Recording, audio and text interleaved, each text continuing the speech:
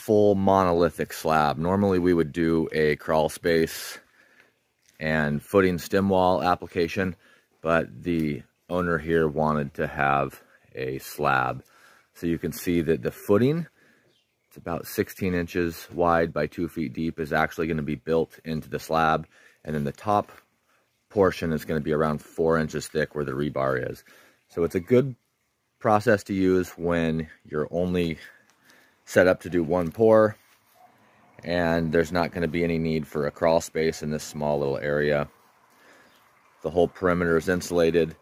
The center of the slab is also insulated and then to code it needs to have a vapor barrier which is this yellow and then there's a number three rebar 24 inches on center. They're getting ready to pour and pump this. I'll try to grab a quick video of that.